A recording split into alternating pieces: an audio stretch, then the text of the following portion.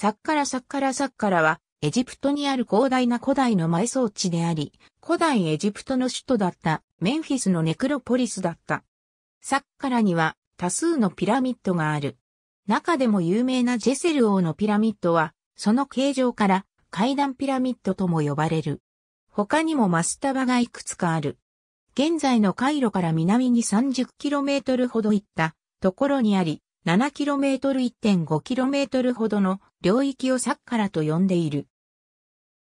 サッカラという地名は、エジプトの総裁人ソカルに由来すると言われている。サッカラでも最古の切り石積みの建築物が、ジェセル王の階段ピラミッドで、第三王朝の時代に建てられた。他に16人のファラオがここにピラミッドを建てたが、それらの保存状態は様々である。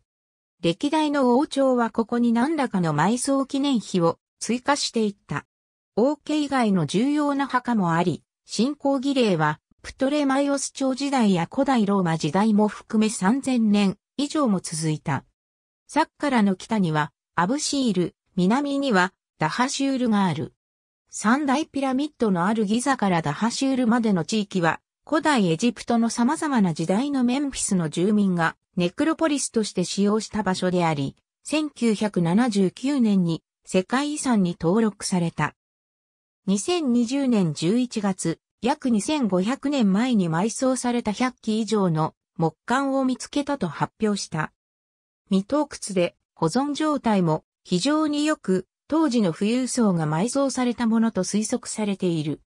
サッカラの階段ピラミッド地図サッカラの眺め。ジェセル王のピラミッドが中央に見える。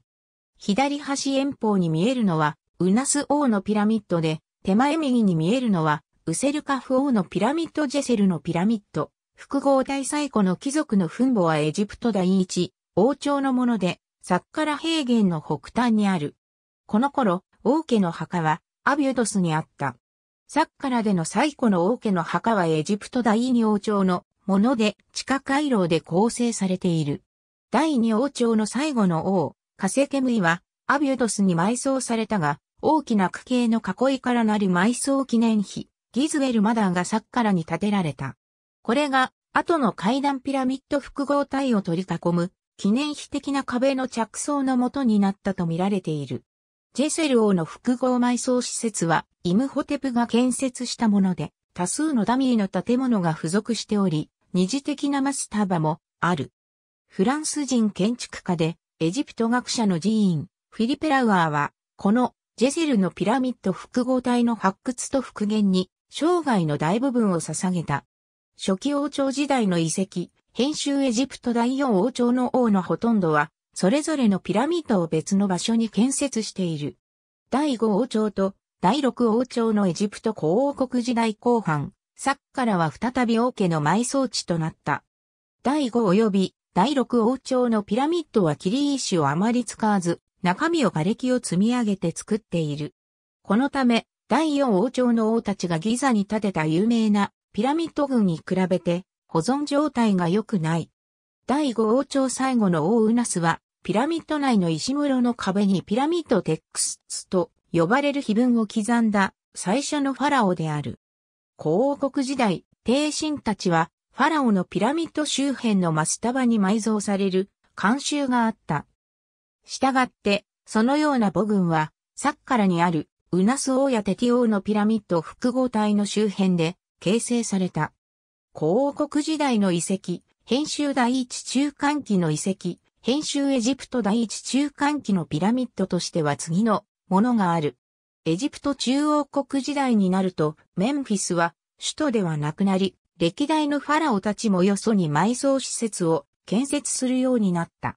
そのため、サッカラのこの時代の遺跡は、王家以外のものが若干見つかっている程度である。第二中間期の遺跡、編集エジプト第二中間期のピラミッドとしては次のものがある。エジプト新王国時代のメンフィスは統治の上でも軍事的にも重要な都市であり、首都に次ぐ第2の都市だった。エジプト第18王朝以降、多くの高官がサッカラに墓を建てた。ホルエムヘブは、まだ将軍だった頃に、サッカラに大きな墓を建てたが、後に、ファラオとなったためテーベの王家の谷に埋葬されることになった。かつての多くの墳墓はこの時代にも立っていたが荒廃が進んでいった。ラムセス2世の子カエムワセトは、サッカラの墳墓群の修復を行っている。中でもウナス王のピラミッド修復に際しては、修復を記念して南面に石碑を追加している。またサッカラにあったアピスの精鋭節の埋葬施設を拡張し、自身もサッカラの地下墓地に埋葬された。フランス人エジプト学者オギュスト・マリエットは、その施設とカエムワセトの墓を発見した。新王国時代の遺跡、編集交換の母群がいくつか見つかっており、ホルエムヘブの使われなかった墓やツタンカーメンに仕えた財務長官マヤの墓などがある。出土したレリーフや彫像は、オランダのライデンにある国立古代博物館やロンドンの大英博物館に展示されている。新王国時代以降も、ナイル川のデルタ地帯に首都が設けられたことがあるため、サッカラが交換の埋葬地として使われることがあった。さらに、いくつかの信仰の中心地があるため、巡礼者の目的地として重要になっていった。特にセラペウムを中心として地下回廊が掘られ、時、ヒヒ、猫、犬、ハヤブサなどのミイラがそこに埋葬された。末期王朝時代からローマ族州時代の遺跡、編集。ありがとうございます。